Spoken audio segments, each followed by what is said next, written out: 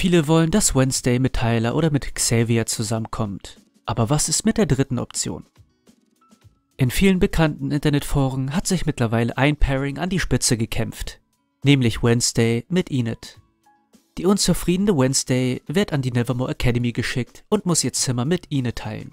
Beide sind sich von Anfang an nicht grün und nachdem sie zu Beginn Drohungen ausgetauscht haben, Krallen und ich habe keine Angst, sie einzusetzen. wird Enid in der ersten Staffel langsam aber sicher zu der besten Freundin von Wednesday.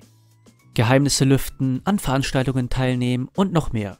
So rettet das junge Werwolf-Mädchen Wednesday sogar das Leben, indem sie es mit Tyler in seiner Heidform aufnimmt. Am Ende der ersten Staffel fallen sich beide Mädchen in die Arme und nun stellt sich die Frage, ziehen sich Gegensätze wirklich an?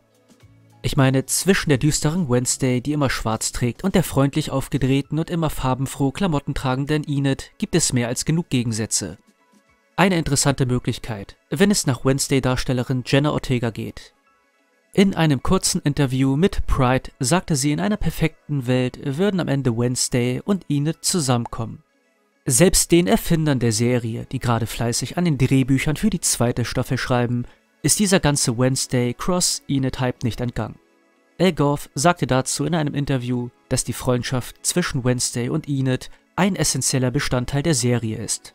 Und es freut ihn, dass die Zuschauer so sehr mit den beiden mitfiebern. Die nächste Geschichte wird wieder beide im Mittelpunkt stehen haben. Auch ob die beiden tatsächlich zusammenkommen, schließt er nicht aus. Denn er sagte weiter, wir haben eine Roadmap und wir möchten, dass die Routen auf dieser Karte in unerwartete Richtungen führen. Wir sind also offen für alles. Ob es also tatsächlich zu diesem Fantraum kommen wird, bleibt abzuwarten. Wie sieht es mit euch aus? Welches Pairing bevorzugt ihr? Tyler, Xavier oder doch Enid? Schreibt es gerne in die Kommentare. Bitte liken und abonnieren. Bis zum nächsten Mal.